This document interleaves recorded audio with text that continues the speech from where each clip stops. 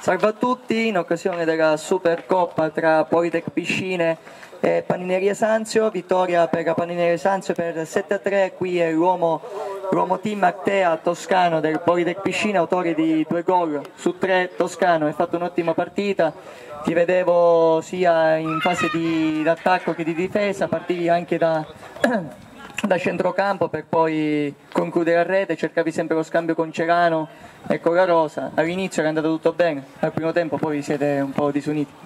Sì, all'inizio abbiamo cercato di, di metterci in campo bene, ce l'abbiamo fatta, fino alla fine del primo tempo eravamo sul ponteggio di 2 a 2 e stavamo facendo bene, poi eh, sulla, sul lungo sono usciti loro che sicuramente sono migliori di noi individualmente anche come squadra e hanno fatto loro il risultato meritatamente.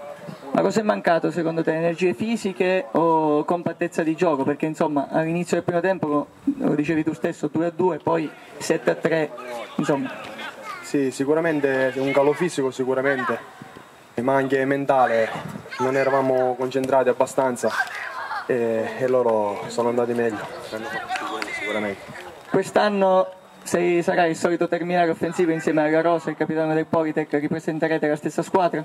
Sì, penso proprio di sì, speriamo di fare meglio dell'anno scorso, di qualificarci per la Champions. Avete vinto l'Actea Cup l'anno scorso? Sì, sì questo sì, siamo, siamo divertiti, abbiamo fatto bene vincendo l'Actea Cup.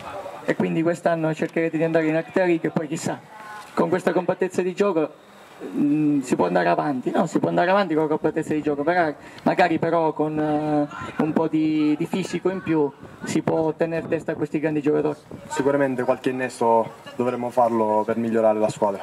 Grazie mille Toscana e complimenti ancora.